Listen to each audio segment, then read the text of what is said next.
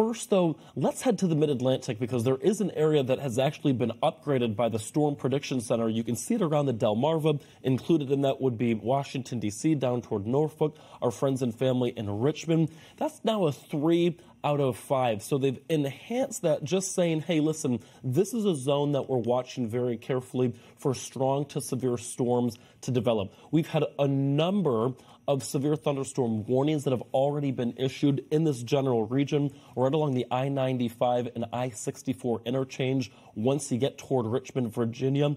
And basically, what's happening is this is the same system, by the way, that produced some stronger storms and a lot of hail through Pennsylvania. What it's doing, it's a very slow moving cold front, but this cold front heading toward the south. And as it does so, it's serving as the focus me mechanism for damaging winds to fire up along, perhaps even some small hail to fire up along. But again, if you plan on driving from Fredericksburg down 95 toward Petersburg, be on the lookout for it through the afternoon and through the evening it's not just a strong damaging wind threat, but there's also a threat. You can see it highlighted not only around Louisville, Kentucky, and into Lexington, but also again in the Delmarva foreseen a likelihood of hail. So it's a it's going to be a, a multifaceted threat, and this hail could be a little bit large at times.